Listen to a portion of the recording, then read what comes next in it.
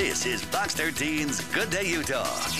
Okay, if you're over the age of 25 and you think that, you know, you're losing your mind, well, you may not be far off. A study has shown that starting at the age of 25, yeah, the young age of 25, your brain starts to shrink. That's too soon. We have Dr. Deborah Yurgelun Todd from the University of Utah Brain Institute with us this morning to tell us ways we can slow down that process. And when I turn 25, I mean, I'll start thinking about it, but okay. but until I'm a few then. years past. I can't even remember my age. That's the problem. So why do we stop?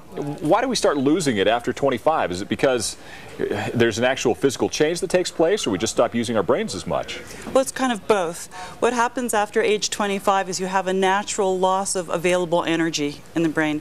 And if you think of your brain much like you think of muscles, if you don't use them, you lose them. So you have to both keep exercising your brain and also provide the right nutrients to the brain. So it's something that is stoppable, or this is going to happen no matter what, but you can kind of lessen, um, you Right. know, the, Well, the results. That's a great question. I think we don't know the complete answer to that, but it is certainly possible to intervene and slow things down. Now, whether we can actually stop them or not, I don't know.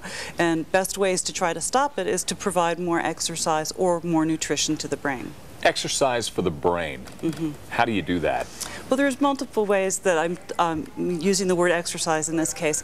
Increased blood flow to the brain will provide a way of um, uh, providing nutrients to the brain. So, for example, if you just carry out your normal exercise routine, uh, jogging, tennis, whatever, um, that will increase blood flow and provide more nutrients. But the other exercises we mean that you should use are things like crossword puzzles, games, things that actually challenge you. Video games. Video games, although those, I think, well, some of them are very exercise your strategic. thumbs more? Yeah, I was going to say Yeah. more the uh, the intellectual memory Thinking laden games. thinking games, Oh, right? okay. So one of the things that we had done to investigate this was we looked at magnetic resonance spectroscopy of the brain, which um, most people don't know what that is. It's a way of taking a, a picture of the brain chemistry.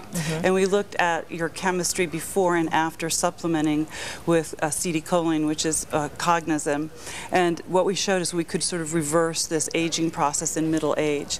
And this was the first time that we, anybody had shown that brain chemistry could be altered with a supplement. Wait, so you can get back something you've already lost? You can fix it. You can sort of fix it, right? You don't get, you didn't lose it. You're just not making it. Uh, In other words, if you're not eating correctly and you're not exercising correctly during normal middle age, those functions will get less. Your memory uh, functions are less uh, sharp. So what you can do is you can supplement if you're not eating the correct diet or not exercising correctly. This is a way of naturally supplementing.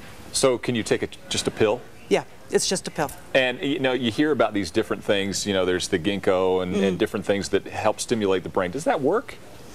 Well, I'm not speaking about those products. I've only tested this product. Yeah, but And a so lot of people are really curious about what kinds of things specifically you can take. Right. Well, you can take a number of natural products that will augment Mm-hmm. your brain function. And the reason for that is that the natural bioenergetics, again, I hate to use those terms, but it means available energy in the brain, can be modified by supplementing. And so in this particular case, this mechanism, acetylcholine with this treatment, um, provides the, the easiest access of the brain to use energy. Okay, real quickly, it starts at 25. Give us the timeline after that. When do you, when are you going to start noticing some of these effects? Most people don't feel they have a real noticeable problem until about age 40.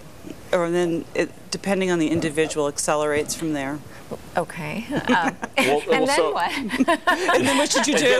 By 41, you're Well, done. No, like no, no, Yeah. no. No, but I mean, around age 40, people start feeling as if they're forgetting uh, what used to be phone numbers, but everybody has their cell phones coded Yeah. now. So, you know, it's other kinds of things, um, misplace their car keys, things like Or that. names and dates and Names that and kind of dates. stuff. Um, And that just seems to get worse and worse as you head into middle age. And again, exercise and eating right.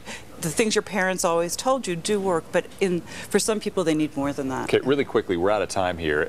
Luckily So for us, so we couldn't have the test done for us. But is there a test that viewers can do, uh, located somewhere, so they can find out to what degree they have this?